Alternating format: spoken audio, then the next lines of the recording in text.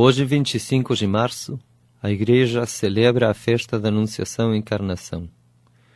Neste dia, os olhos de toda a Igreja voltam-se a Nazaré. Para Maria, a promessa divina apresenta-se um pouco inesperada.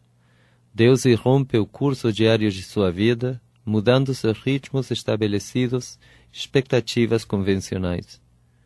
Maria deve caminhar através da confiança em Deus e no cumprimento de suas promessas e se pergunta: como será isto? Isso sugere que está pronta para dizer sim, apesar de seus temores e incertezas. Não nos surpreende, além disso, quando finalmente pronuncia seu fiat: Eis aqui a serva do Senhor, faça-se em mim segundo a sua palavra. Mostra-se então como autêntica filha de Abraão e se torna mãe de Cristo e a mãe de todos os crentes.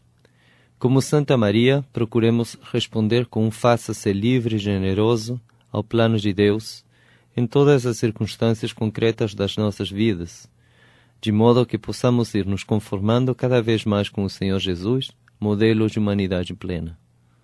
Santa Maria, ajuda-me a esforçar-me segundo o máximo das minhas possibilidades e o máximo das minhas capacidades, para assim responder sempre ao plano de Deus em todas as circunstâncias concretas da minha vida. Amém.